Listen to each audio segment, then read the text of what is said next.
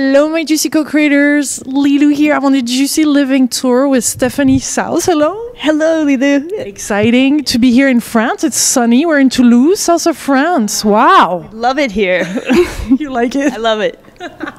so you travel, I mean, the world. You spent quite some time in Australia with uh, Jose Arguelles, right? This was you spent Yeah. um, many years with him. You were his companion, his spa. Yeah, since, since 2002 until his passing in 2011. And we were living seven years in Australia and New Zealand.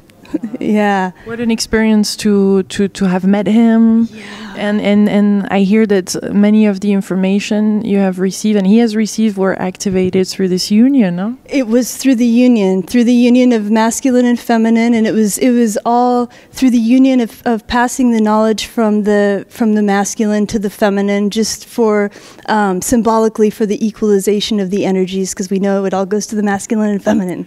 Yeah. How do you how do you see? I mean, how do you see reality? I know that's a big question, but how do you see life here on Earth? Let's see, how do I see life here on Earth?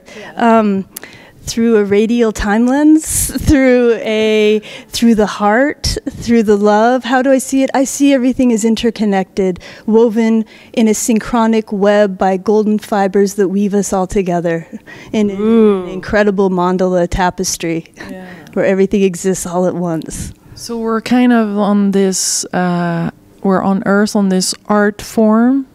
Yeah, on planet art, on the planet art, and time is not money, time is art. And we're here to make things beautiful and to create more light on the planet, like you're doing. Thank you. Presence. There's millions of people I feel working on this, working helping the earth too and mm-hmm. supporting it. What is your relationship to the earth? How do you want to help her to to, to, to, to be her full self or does she need even help? Well, I have I I have a wonderful relationship with with Gaia, and I think that she is so super intelligent and so so smart that in an instant she could heal everything and she could heal herself despite what the humans have done to her. My feeling is it, she's all powerful, so magical, and there's so much more magic that she wants to show us. So why why some people or you or I know some people in Hawaii and, and in Europe or Scotland I'm thinking of are, are activating or are, are, are, are doing those processes, those rituals to help her. Yes, we're helping the earth because what we're doing is um, we're in a in a transition period, or we're going to. Do you know the word? You know, noosphere. The word No, mm, noosphere, so- which is the planet, the planetary mind, and so that's the planetary mind of Gaia. So, like all of her thoughts, or it could be called the akashic record. We call it all different things, but the noosphere is the planetary mind, and when we fully realize the noosphere, we f- we realize our interconnectedness with both each other and with and with Gaia. Yeah. Mm-hmm. So when when when that is when we connect to it or when we do rituals, we mm-hmm. it's being activated or what's the I think so. I think everything comes with the intention. If we have the high, high intention for the for the healing and an unselfish heart to to help heal the whole planet, I think each act of goodness that we do is is deposited into what's called the Psi bank or into the noosphere. And each act of love, each little thing that we do for each other, until it has a cumulative effect. I think until all the feedback comes raining on us, just like in your in your own life, you experience that if you do good and do good, then all of a sudden the, the feedback is instant because I think Gaia or Mother Earth is an instant feedback loop. Mm. I feel that right now, and I just did an interview with uh, t- Tom Lescher, just at an astrologic level, you know, to, to, to, to hear of the planet and what's going on, because it feels like it's shaking a lot, you know, the Grand Cross and some alignments and the eclipses too. Yeah. There, there's so much, uh, it feels like uh, energy coming down, and we need to adapt. What's your relationship to that? How do you deal with that? What's going on, even? Yeah, well, I think the key to focus on is the sun. I think the sun is the key thing to focus on right now. I know a lot of um, everything is coming through the sun right now, as we were talking about a new new beam or new knowledge is focalized from other star systems through our sun and into the sunspot cycles, and it hits our planet through the solar storms or through the different um, Earth changes. But I feel like right now, at least my guidance is to pay attention to what's happening in the sun because the sun is light, the sun is knowledge, the sun is our is our life, and it will tell us everything we need to know about the Earth changes. So it's kind of we need to open to it. We could open to it, Yeah. to the sun. Yeah, and we can- welcome and not be afraid of the solar flares or Yeah, not be afraid at all. That look at everything. You just have to look at everything serves to further, and it's all part of a divine program, and it's all being choreographed from from on high. And there's there's a reason for everything that we're going through, even the earthquakes, even the devastation. To me, it's all divine. It's all a divine timing program, and we're gonna. But it it also is important to keep our thoughts really really pure because they do affect the electromagnetic field of Mother Earth. Our our our mind is directly connected with the electromagnetic field um, of the planet, and so it's so important that we're just pulsing out the light back to the source.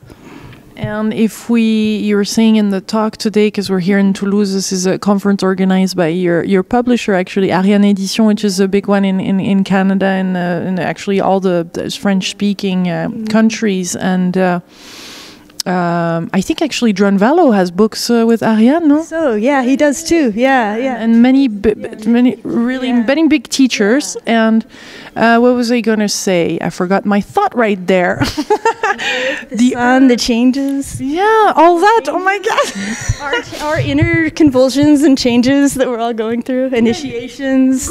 Yeah. well, we're all going through it. That's for sure. None of us gets out alive, right? I mean, so we're we're all we're all one being, and it's like nobody's exempt from all of these shifts. And it's like it's just you know, as the new light hits, it shakes up everything that's not the light inside, and we just keep being shaked until we're pure light. So.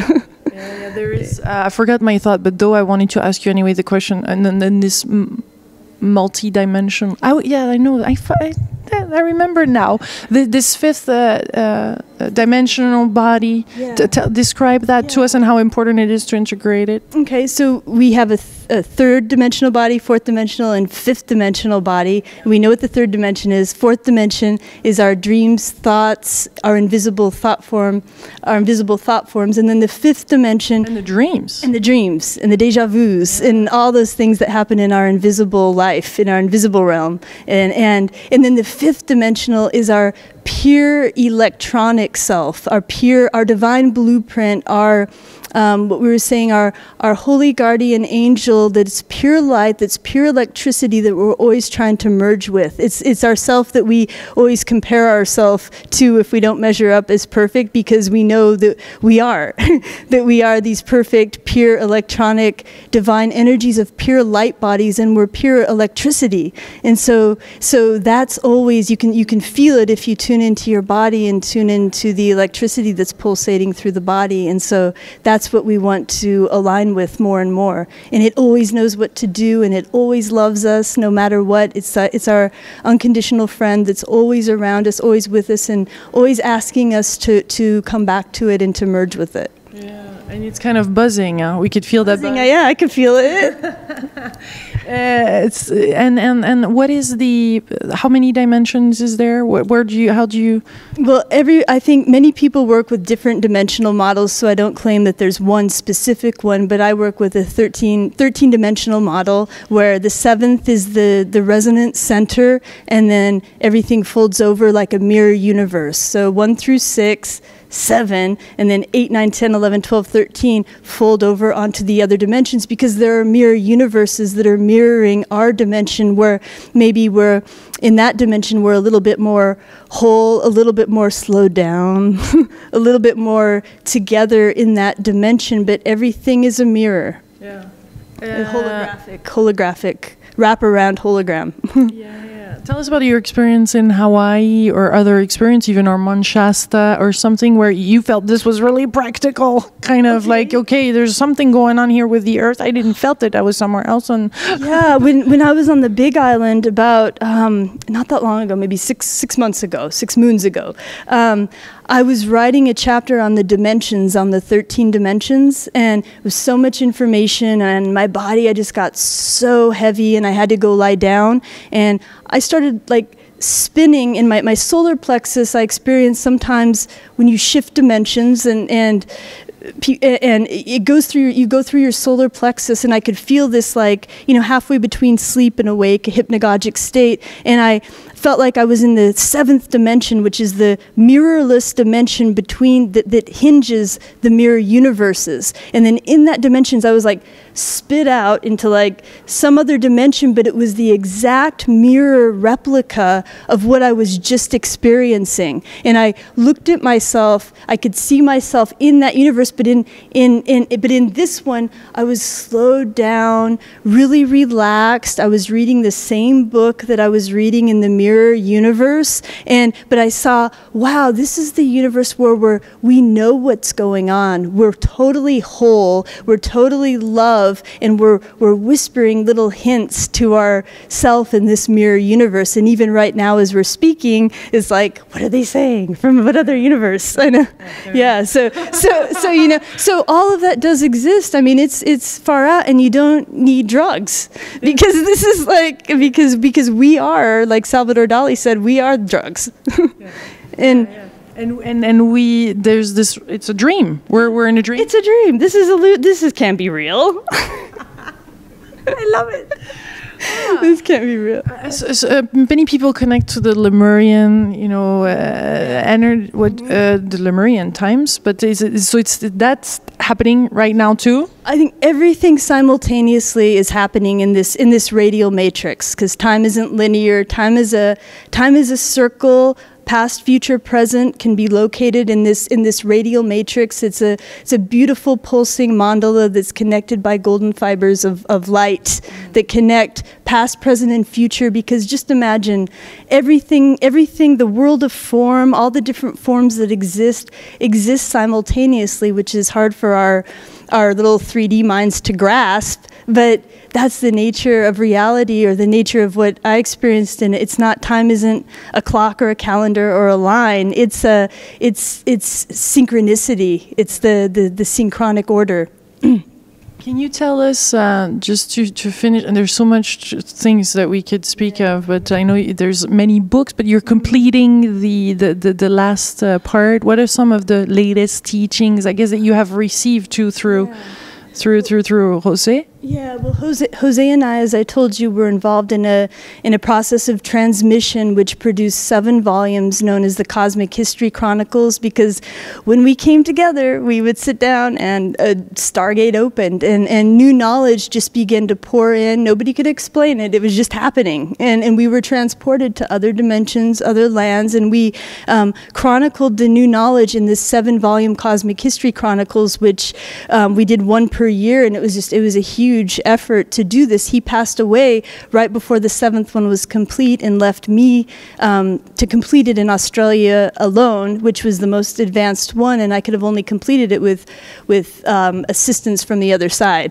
yeah, yeah. yeah. So that knowledge in there. So it covers almost every subject of, of human knowledge. It's the new cosmic science. It's cosmic art. It's um, the science of synchronicity, time science, time travel, teleportation, um, travel to other dimensions. It we it's basically encyclopedic. And what I'm doing now, or my next task is to systematize all of this into an accessible format. And actually, ultimately, I'm looking to create a, a, galactic educational center with a new curriculum to show people how to activate this themselves because it's really not as hard as it all sounds. I know it sounds like a lot of information, but once you go step by step, it's like, and you can feel it in your body vibrating.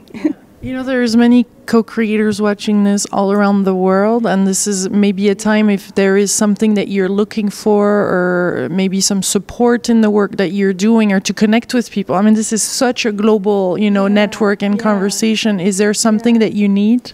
Um, well, what what I need, or what the the vision that's been given to me is, is to first in the United States create a what I'm going to call a galactic training education research center, but I foresee it as a um, an aesthetic work of art where where time is art, and we have a new educational curriculum where we get some of the greatest minds in there to think from a higher dimension of what is the new science, um, galactic, cosmic science curriculum, what is the new, what's the new art forms to begin to envision what is this new creation all together. And so I would like to um, get all of the all the people who are really really inspired all together and create a whole new educational curriculum and for the children as well because um, you know that we know how the educational systems are. But but I have a whole vision for it which I'm just now writing down in the proposal. And I envision the first one in the United States on the west coast another one in Brazil and another one um, either Russia or Europe to begin with because it's the, the sacred triangle. But um, but an actual center that's an aesthetic work of art that has the new galactic art that we feel like we have galactic theaters and tell the stories of tomorrow. Yeah. In our galactic theater, the new poetry, the new music, where we showcase a new vision for everybody and we turn the media toward that galactic culture on Earth, the culture of light. Beautiful. Well, there we go. It's beamed out through the internet, this one. Anything else? Is there some last um, something on your mind that you would like to say or for, for we, people yeah. watching? I, I think we covered it just, just giving you all my appreciation and, and all my love for all the work that you do. And you, you deserve everything. Thank yeah. you. Yeah, for the work you're doing. Thank you and much, much love. You deserve everything too. We love you. We send you so much love. Thank you. Yes. Big kiss. Bye. Bye.